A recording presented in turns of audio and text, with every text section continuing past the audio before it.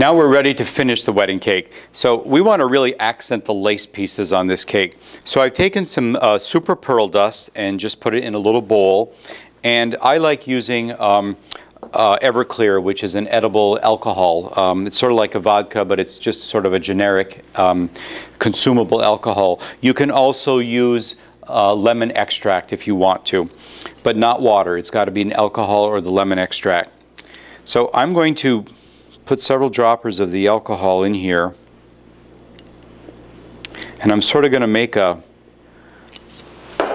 a very um, sort of a loose paste. I want this really, whoops, I want this kind of liquidy when I'm done so that I can paint it on. Now, what a lot of decorators do is they'll take these lace pieces and they'll put them on a like a paper towel or something and they'll pearlize them with dry pearl dust before they put them on the cake. But I really wanted to do this tutorial for people who have not done a lot of cake decorating. And when you're working with pieces that are pearlized and you're trying to put them on the cake, you tend to get pearl dust everywhere. It gets on your hands, it gets on the cake, it falls on the cake below, it falls on your board, and then you end up with sort of a mess because there's pearl dust everywhere. So I wanted to show you a different way of doing it that would give you a little more control over it. And I'm going to have them come in and do a nice tight shot of the consistency of this in a second. Okay, we're ready. This is the consistency I want. It's, it's really very liquidy. So it's just the pearl dust with a little bit of water, um, alcohol in it. And you can even go thinner than this as you want. Now as you're putting it on the cake, you'll realize that it starts getting thicker because the alcohol evaporates. So let's start on the back of the cake, right on the top. Try not to put too much on your brush at once so it doesn't drip. And then just lightly brush these decorations. And you'll see all that nice lace detail start popping out. And I'm going to do the same thing on the bottom.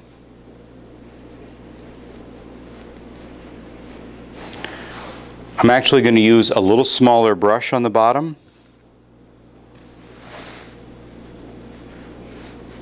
There, that works better. And these are just artist brushes. These are the, the Global Sugar Art um, Sugarcraft brushes that we sell. I'm going to add a little bit more because it's already thickened up.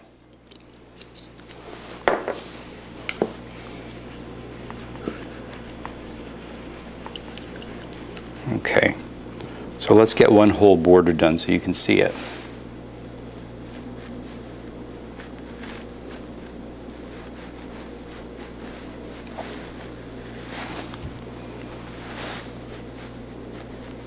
You can see that it doesn't take a lot to really accent that border. All the details start popping out.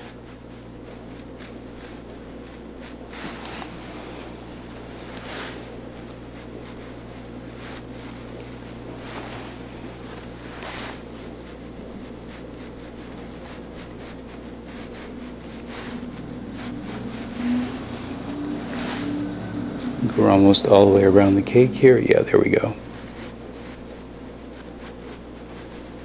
Okay, so there's the top border. Don't forget to do the very top edge too. Because if someone's looking down on the cake or if it's on a low table, the top edges will show.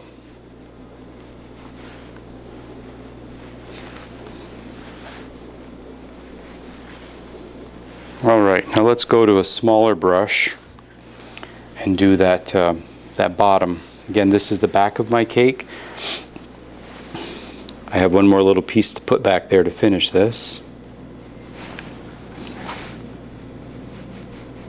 Now, if you want to add an element of color, you can color these um, borders. You could use like a light pink border, or you could mold them in white and then lay them down on a paper towel and use a little bit of petal dust or luster dust and you could make the roses pink and the leaves green. Um, it, it's your choice on how you want to accent the cake. We're going to use some pink flowers on the top so I really wanted all of the cake to have just the pearlized laced.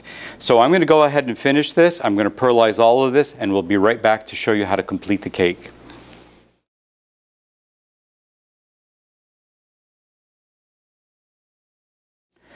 Okay, here's the final, the final project. We have now put the pearl glaze or the pearl dust with the alcohol on all the borders. So now we're ready to finish the cake.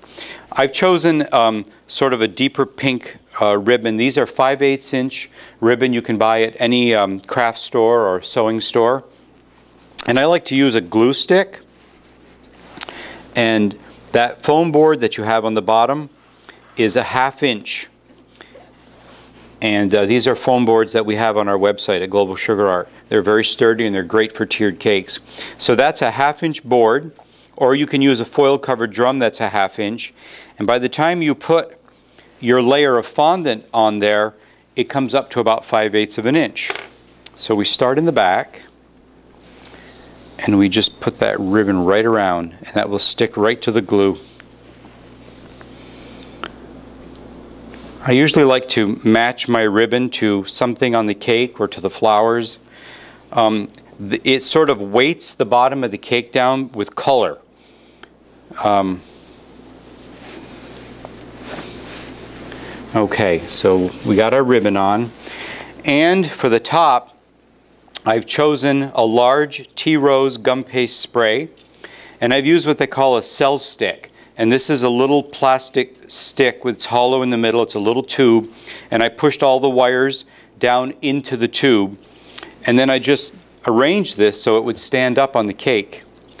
And I've also colored the petals a little bit uh, with some petal dust and a little pearl dust.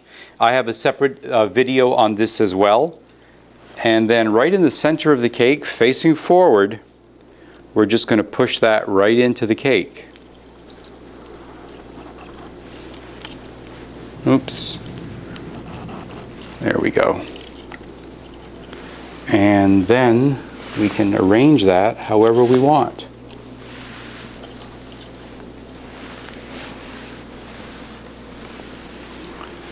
We'll get it to, to move in the direction we want. It's all on wires, so they're very easy to fix. There we go.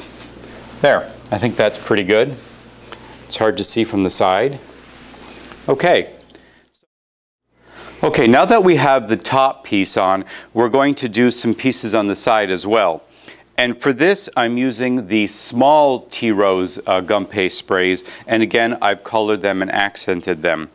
I'm going to use a pair of pliers, and I'm going to cut maybe an inch or so of the wires off of the bottom. And I'm just going to bend that back on both of these. And I'm going to use the same thing I used on top. I'm going to use a cell pick. I've put one in on this side already. And I'll show you how they go in. They just, I'm going to line them up on both sides. And I'm just going to push that right into the cake. And then it's a simple matter of putting the wires down in your cake or down into, this, into the cell pick and just arranging these on the cake.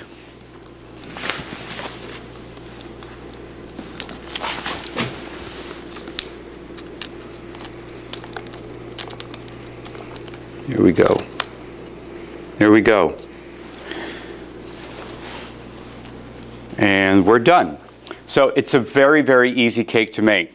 Again, the, uh, the cake was a 12 inch, a 9 inch, and a 6 inch.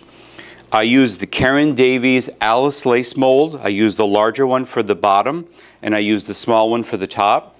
I used the Karen Davies uh, piped rose border for the middle here and I used the Global Sugar Art Rose border for the bottoms of the top tier and the bottom tier.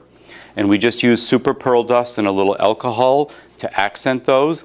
And these were pre-purchased gum paste sprays that we just assembled on the cake to finish the project. So you can see it's not a really, really difficult cake to make, but it does have a little bit of a wow factor. So give it a try. I hope you enjoyed this tutorial. You can find all our products at globalsugarart.com. Thank you very much.